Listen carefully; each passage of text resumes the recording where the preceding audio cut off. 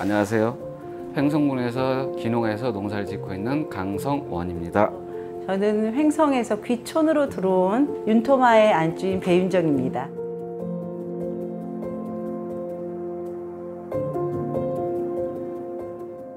와, 크다. 진짜 진짜. 너무. 와. 또 품값도 안 나오니까 사람들 안 타려고. 작물은 좋은데 가격이 없어. 어떡하지? 가격은 응. 어, 도심에서 어떤 거냐면 각자 플레이예요. 끝나고 집에 오면 나 그냥 소파에 누워서 이러고 있다가 밥 차려주면 밥 먹고. 감정 노동자였던 것 같아요. 그러니까 학원이라는 그 어떤 사업체를 운영하면서 어, 이제 힘이 들었던 것 같아요. 그래서 마음이 좀 편해보자 하는 의미에서 어, 시골살이를 시작하게 됐어요.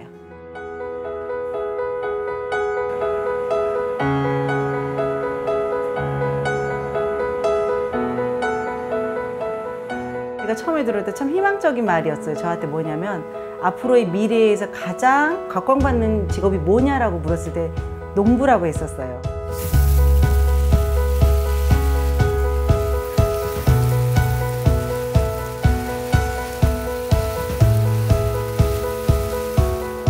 그냥 들어온 돈만 하니까 200 정도 들어오더라고요. 근데 그게 5월, 6월, 7월, 8월, 9월, 10월까지 6개월간의 농사의 결과물이었어요.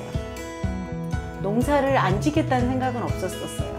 농사는 하고 싶어요, 여전히. 왜냐면 이 수확을 할 때 기쁨은 표현할 수가 없어요. 설레이더라고요. 근데 그렇게는 하고 싶은데 농사로는 먹고 살 수는 없다라는 생각도 했어요. 그래서 그럼 내가 뭔가를 잘하는 게 뭘까 생각할 때 주변 사람들이 저를 자꾸 이렇게 부추겼어요. 야 시골 가서 청 만들어 팔면은 공기 좋은 데서 사람들이 잘 사 먹지 않겠냐? 이제 그 말에 속아가지고 실은 청을 시작하게 됐어요.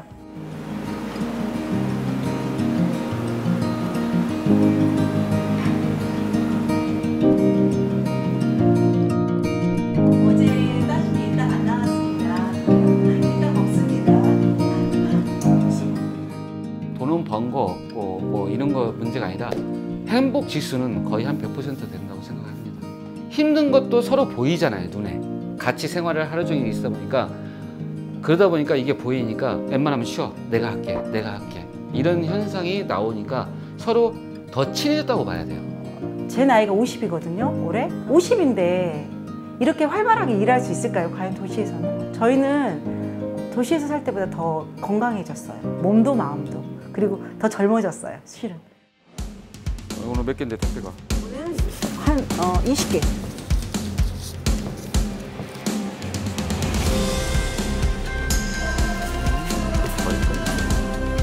저는 지금 기농해갖고 내가 기농해서 후회되는 게 한 5년만 더 빨랐었으면 좋겠어요. 내가 열심히 뛰면 뛸수록 할 게 너무 많아요. 이 젊은이들은 지금 해봐야 된다라고 생각하거든요. 그리고 찾다 보니까 사실 도시보다 훨씬 더 열려 있는 건 사실이에요. 근데 이제 조금 부족한 거는 배울 수 있는 것들이 좀 적다. 이제 그거를 조금만 더 옆에서 누군가가 도와주고 하면 그 길만 딱 알고 나온다면은 어, 훨씬 더 시골에서의 그 희망적인 부분이 많아요. 돈도 많이 벌 수 있어요.